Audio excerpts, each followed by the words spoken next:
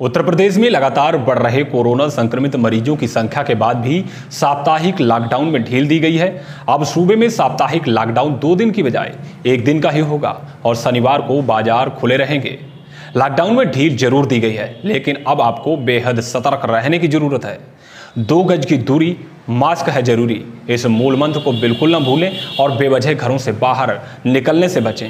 इसी अपील के साथ अब बात करेंगे शाहजहांपुर की दिन भर की अहम खबरों की। और मैं हूँ आपके साथ सिमरनजीत सिंह।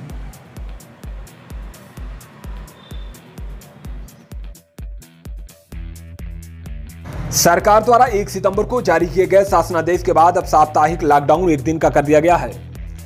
अब शनिवार, रात्रि 12 बजे से रविवार, रात्रि 12 बजे तक संपूर्ण लॉकडाउन रहेगा और सप्ताह के बाकी दिनों में पहले की तरह ही बाज़ार खोले जा सकेंगे। हालाँकि पहले साप्ताहिक लॉकडाउन दो दिन का था, जिसमें शनिवार और रविवार को संपूर्ण लॉकडाउन रहता था। फ़िलहाल अब लॉकडाउन में राहत दे दी गई है।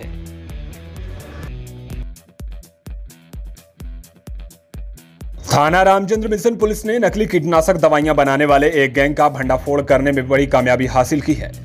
पुलिस ने गैंग के एक सदस्य को भी गिरफ़्तार किया है, जिसके पास से पुलिस ने एक करोड़ से भी ज़्यादा कीमत के नकली कीटनाशक बरामद किए हैं। वहीं उसका दूसरा साथी भागने में कामयाब रहा। रामचंद्र मिशन पुलिस को मथुरा की क्रिस्टल कंपनी से इलाके में नकली कीटनाशक बनाए जाने की खबर मिली थी। पुलिस ने मुखबिर की सूचना पर इलाके के रौसर कोठी से एक करोड़ बीस लाख दस हज़ार के नकली कीटनाशक बरामद किए हैं। साथ ही पुलिस ने गिरोह के सरगना जगेश्वर को भी गिरफ़्तार किया है और उसका एक साथी मोहित भागने में कामयाब रहा।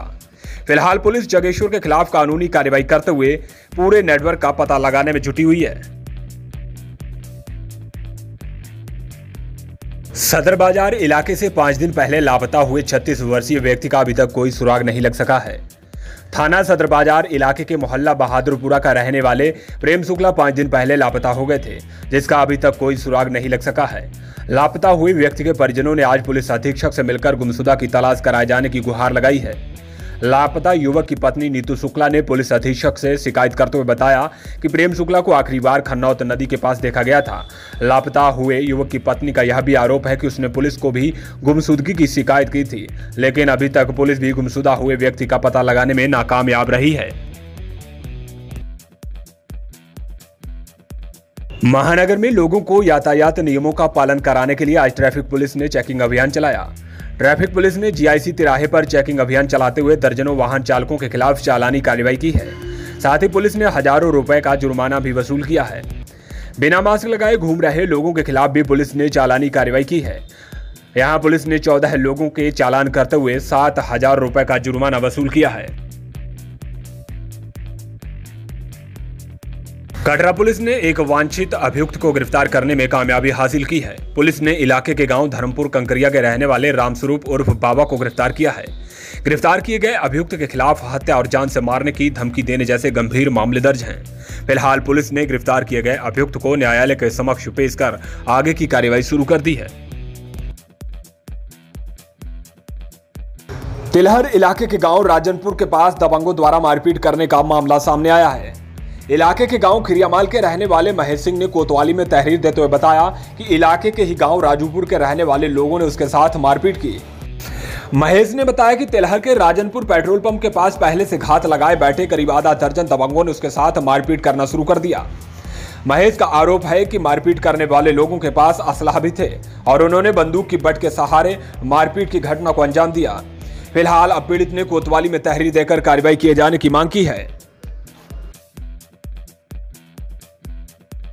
थाना गड़िया रंगीन पुलिस ने अवैध असलाह के साथ एक अभियुक्त को गिरफ़्तार किया है। गिरफ़्तार किए गए अभियुक्त के पास से कुछ ज़िंदा कारतूस भी बरामद हुए हैं।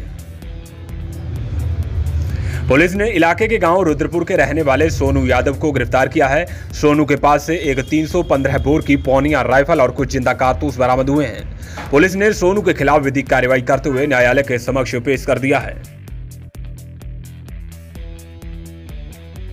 आज तिलहर में राष्ट्रीय गौरक्षा संघ के कार्यकर्ताओं ने श्री बालाजी धाम में सैनिटाइजर मशीन लगवाई है। राष्ट्रीय गौरक्षा संघ के प्रदेश संगठन मंत्री यशवंत कुमार मैथिल ने कार्यकर्ताओं के साथ पहुंचकर इलाके के कछियाना खेड़ा स्थित श्री बालाजी धाम में सैनिटाइजर मशीन लगवाई है। सैनिटाइज मशीन मंदिर के गेट पर ही लगाई गई है। संगठन मंत्री का कहना है कि सैनिटाइजर मशीन को गेट पर लगाया गया है। अब मंदिर में दर्शन करने आने वाले श्रद्धालु गेट से ही हाथ सैनिटाइज कर अंदर प्रवेश करेंगे। संगठन मंत्री ने दर्शन करने आने वाले श्रद्धालुओं से हाथ सैनिटाइज करके ही अंदर जाने की अपील भी की।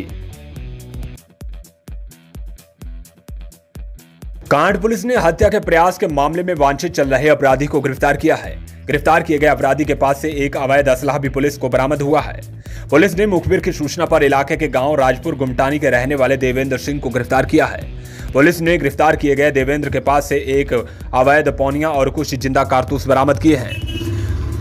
पुलिस देवेंद्र की लंबे समय से तलाश में जुटी थी। फ़िलहाल पुलिस ने गिरफ़्तार किए गए अभियुक्त को न्यायालय के समक्ष पेश कर मामले में जाँच शुरू कर दी है। जिलाधिकारी इंद्र विक्रम सिंह ने आज महानगर के मगही टोला में निर्माणाधीन वीवीपैट गोदाम का औचक निरीक्षण किया। यहाँ गोदाम के निर्माण कार्य में धीमी गति पर नाराज़गी जताते हुए कार्यदायी संस्था को फटकार लगाई। साथ ही उन्होंने चेतावनी दी है कि अगर निर्माण कार्य में कोई भी कोताही बरती गई तो समय सीमा के अंदर निर्माण कार्य पूरा नहीं किया गया तो संस्था के खिलाफ विधिक कार्रवाई की जाएगी।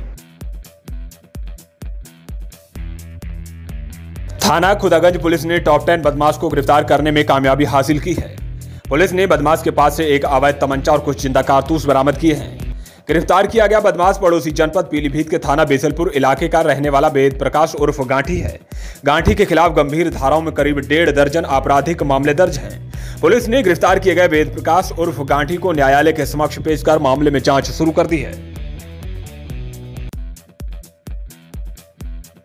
ज़िले में आज निन्यानवे और कोरोना संक्रमित मरीज़ सामने आए हैं। बीते 24 घंटे में सैंतीस मरीज़ स्वस्थ हुए हैं, जिसके बाद अब तक कुल स्वस्थ हुए मरीजों की संख्या 2631 हो गई है। वहीं बीते 24 घंटे में दो मरीजों की संक्रमण के चलते मौत भी हुई है और आठ सौ अट्ठावन मरीजों को अभी भी स्वास्थ्य निगरानी में रखा गया है।